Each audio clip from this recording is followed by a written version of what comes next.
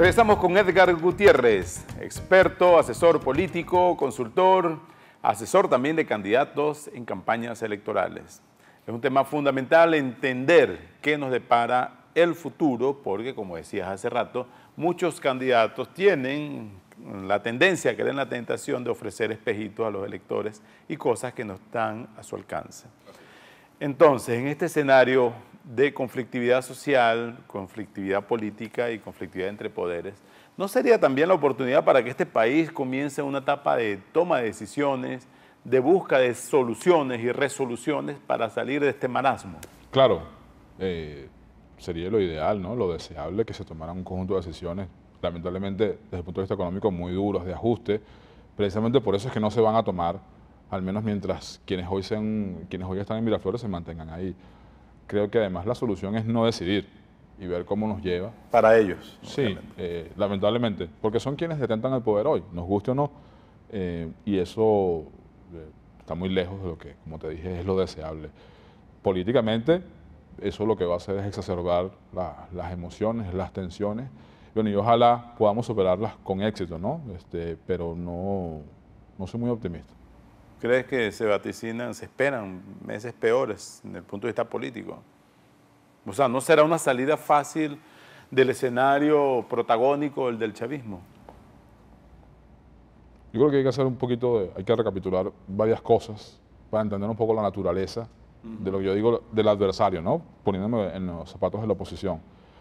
Eh, este adversario, eh, aunque ha ganado, perdón, aunque ha perdido elecciones de gobernadores, y sí, Capriles le ganó a Diosdado y una cantidad de gente, le quita las competencias. A los Jalisco, el que no. Le quitas las competencias y le quitas el dinero, ¿no? Eh, un referendo de reforma constitucional donde se dijo que no a un modelo planteado. Eh, se dice que se aceptó el resultado, estrechísimo, pero luego se implantó, todo, esa, todo, ese, todo ese contenido se implantó vía legal o vía mm, habilitante, por cierto, de modo inconstitucional, y hoy esas leyes son leyes. Eh, a los Jalisco. el caso de Ledesma, el caso de Miranda con Capriles. Y muchísimos otros. Y por ahí te vas el Tribunal Supremo, en fin. Yo no tengo razones para pensar que ese comportamiento vaya a cambiar en el futuro inmediato. Por eso digo eh, que hay que ser muy optimista, pero hay que ser muy realista cuando uno ve los números de las encuestas, pero eh, ves inhabilitaciones, ves estados de excepción, ves una cantidad de cosas que eh, están muy lejos de la normalidad democrática. Más bien son una cantidad de trucos, de trampas, eh, un ventajismo obsceno, impúdico, donde te dice, bueno, ¿cuál es la naturaleza del adversario que estás enfrentando? Es un adversario que no es democrático, es un adversario que va a hacer todo lo que esté a su, a su alcance y lo que no está tan bien para quedarse y permanecer en el poder. Pero eso sería una consagración de un régimen totalitario. Es que en Venezuela hay cualquier cosa menos democracia. Yo siempre lo digo al revés, ¿no? Eh, yo, yo lo he escrito y lo sostengo. Y mis colegas mis profesores me han regañado porque me dicen que estoy equivocado, que en Venezuela no hay una dictadura. Yo creo que sí hay una dictadura. Eh, cuando, mucha gente que no está de acuerdo conmigo le digo, bueno, está bien, no es una dictadura, pero estamos de acuerdo al menos en que no es una democracia, ¿verdad? Porque en una democracia hay separación de poderes que aquí no tenemos, hay una cantidad de cosas que la oposición no tiene eh, eh, acceso a, por ejemplo, comunicación, aquí no hay libertad de expresión plena, entonces si eso no están, esas condiciones no están, por, por decir nada más tres, entonces no hay democracia. Entonces los escenarios no son exactamente democráticos. Como alguien decía por ahí, la lucha tiene que plantearse de algún modo, eh, puede debe ser una lucha democrática contra un adversario que no es democrático. Tampoco todo, todo un trabalengua, ¿no? Pero es un poco la realidad. Es verdad, tampoco hay libertad de información, por lo menos acceso a la información y la libertad de expresión es limitada. Tú lo sabes mejor que nadie, o sea, aquí el tema de la censura y la autocensura es, es, rampante, o sea, aquí no hay libertad para eh, ni equilibrio informativo, aquí hay una ficción que se vende a través de un aparato de propaganda donde las pequeñas expresiones libres que hay son contadas y además muy presionadas, demandas, etcétera, etcétera, presión, intimidación de periodistas. Entonces, si alguien cree que las elecciones en democracia son así, bueno, está completamente equivocado. Eh, lo que veo es que eso se va a agravar porque quien detenta el poder se ve hoy prácticamente acosado porque sabe que está en minoría, franca minoría. El chavismo es minoría desde hace rato en Venezuela, hoy más. Entonces su método por excelencia para legitimarse nacional e internacionalmente, que eran las elecciones, por eso hemos tenido tantas, hoy pareciera que no le sirve.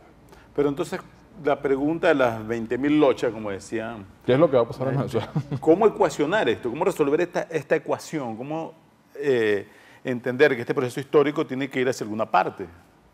Eh, yo creo que la estrategia dominante, que es la electoral, es válida, eh, pero me parece que es unidimensional, entendiendo con quién te, estás enfrentando.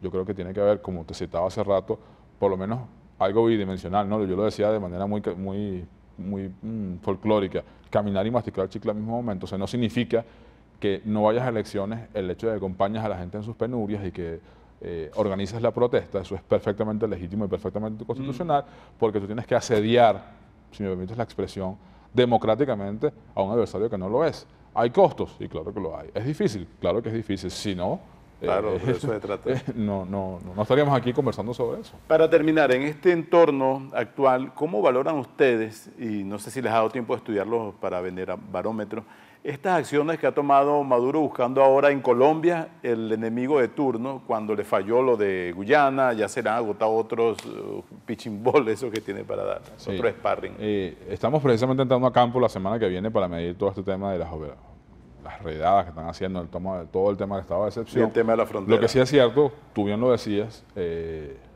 todo lo que ha venido, digamos, todo lo que se ha venido sacando de la manga para, digamos, generar eh, agregar como revulsivos ¿no? a la situación e intentar modificar las preferencias de opinión, no le ha servido. Eh, toda, esa, toda esa historia en que incluso algunos encuestadores dijeron, no, no, no, seguro que con el tema de, las medidas de Obama se recupera. Eso fue una cosa que duró 15 días y volvió a bajar, porque lo estructural, la desafección, la, crisis económica está ahí y la gente sigue castigando a, quien es el responsable de eso. Eh, yo creo que el tema de Guyana tampoco sirvió porque si hubiese servido no se hubiese usado, no, no, se hubiese hecho mano del tema de Colombia.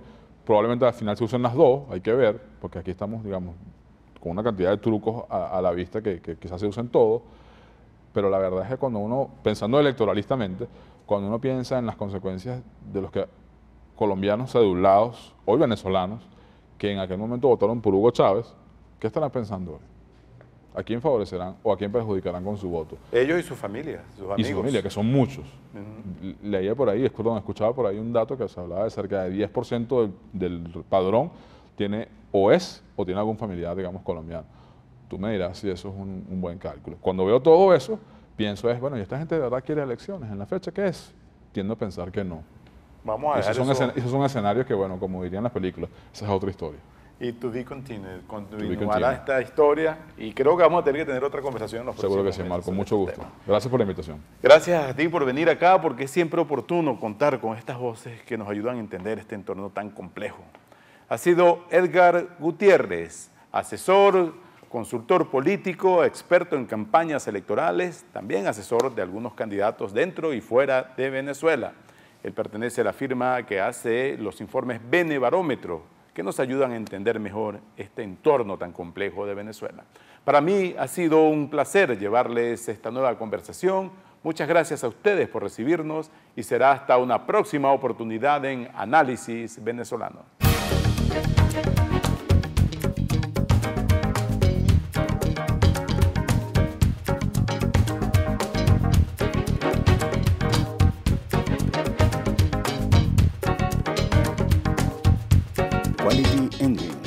Estímulo.com presentó